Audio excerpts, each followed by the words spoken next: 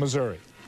K-State quarterback Mike Bishop, a huge day on the ground. He picks up 31 here, 14 carries for 196 yards on the day. K-State rolls 41-11.